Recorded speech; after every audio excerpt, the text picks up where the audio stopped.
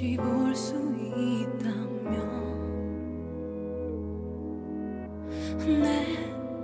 지난 기억 속에서 그 아픔 속에서 그대 불러 You